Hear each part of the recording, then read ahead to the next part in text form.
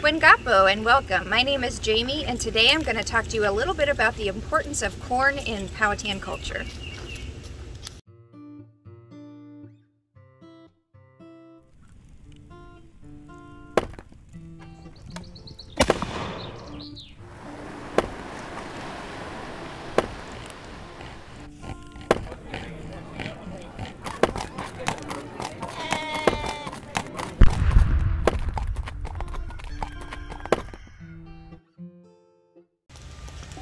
The importance of corn in Powhatan or Eastern Algonquian society here in Tidewater, Virginia can be um, summarized by the fact that they had five seasons that were specifically tied to when they're harvesting their corn.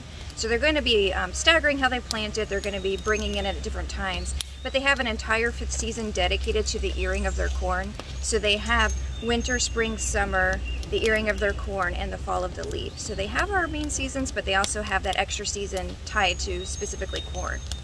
In Powhatan culture, it was the woman's job to grow corn, so the women and the men were both considered providers in the family. The women bring in a lot of the food through agriculture and through gathering, while the men bring it in through hunting and fishing. And because um, they're matrilineal, women have a very high status in society, which also may be enforced by the fact that they bring in their main grain crop. So corn is going to be the substitute for most of the grains we use today, so wheat and barley and rye and all the other grains that, that we eat now that were originally brought in from Europe. Um, traditionally, among native cultures, uh, corn is going to take their place. So corn is going to be prepared in a lot of different ways. So the first thing you're going to do is when you plant your first cycle of corn, you're going to start by um, eating green corn in the ears, usually roasted, but sometimes they would just take that shuck and they would pull it right off and eat the green corn. It was considered um, a delicacy to just pull it right off and to get that fresh green corn while it's still got a little bit of that sugar flavor in it. And sometimes they would just eat it fresh. Sometimes they would take this whole corn cob and roast it in a fire. And it was, you know, a pretty special treat because coming out of the spring when you don't have a lot of things growing and you're running out of some of the food that you were hunting over the winter time, corn, uh, fresh corn coming in out of the garden would be would be a really big treat for them. Uh, they're going to let a lot of the rest of it go to ear and um, dry it. So what they're going to be eating throughout the times where you don't have fresh corn is, is basically dried corn. So you could, again, reconstitute that cob and, and cook it or cook the kernels in a soup. Or you could pound it up in a mortar and pestle and make meal out of it. So what they're going to be eating for bread in Eastern Algonquian culture is, is cornbread. So it's all going to be kind of a flat bread. They don't have anything that's going to make it rise but they will make um, a couple of different types of bread out of this cornmeal. So they might actually put it into a patty, so it would be kind of like a, like a pancake consistency, and cook it on hot stones right near the fire, and bake it. So it's going to be like a kind of like a cornbread, but not sweet.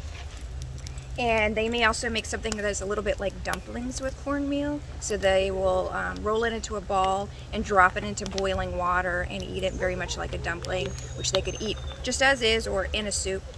They also would sometimes take the corn husk and wrap it in the corn husk like a tamale today. So you wrap it up in there and you boil it just like you would with the dumpling, but the, um, the husk will keep it a little bit softer consistency than you get when you actually just drop it right in the boiling water.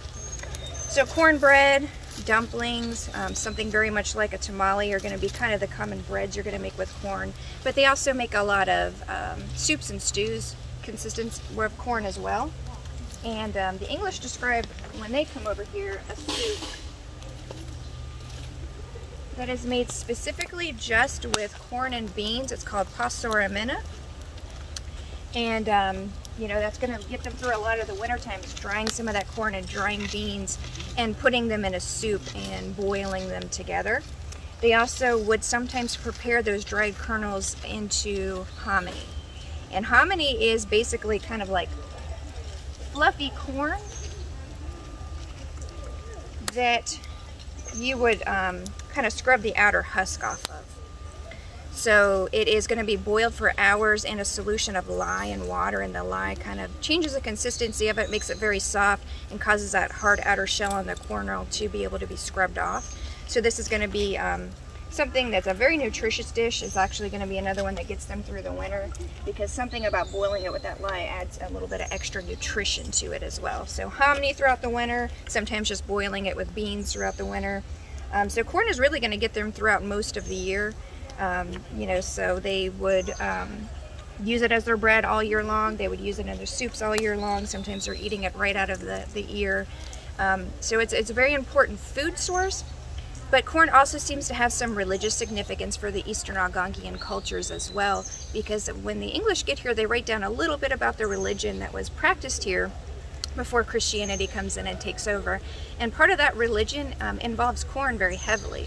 So whenever they talk about the Powhatan priests, they describe them using a lot of ceremonies involving corn. They talk about one in particular when John Smith was visiting one of the villages. He talks about them taking dried pounded corn and sprinkling it around a fire and that would represent the um, the area they live in so kind of the land that they're living on and they talk about taking kernels and then sprinkling them around the outside of that circle as well which would represent the sea and then they would lay sticks kind of outside of that to represent some of the um, other peoples that live out there that they didn't know about and they would include the English as well so part of that ceremony was them trying to figure out if the English are going to stay and if more of them are going to come over as well. So religious significance, it has of course food significance, and it's just um, also just you know cultural and community significance. Again, when you're coming out of a long winter or a long spring season when you don't have a lot of fresh food, the importance of taking that corn out of the garden fresh and having it as a staple crop throughout the rest of the year is very important in their cultures. So that's a little bit about um, the Powhatan uses of corn and the Eastern Algonquian uses of corn. If you liked our video, please comment, like, and subscribe to our channels. And uh, thank you and join us next time.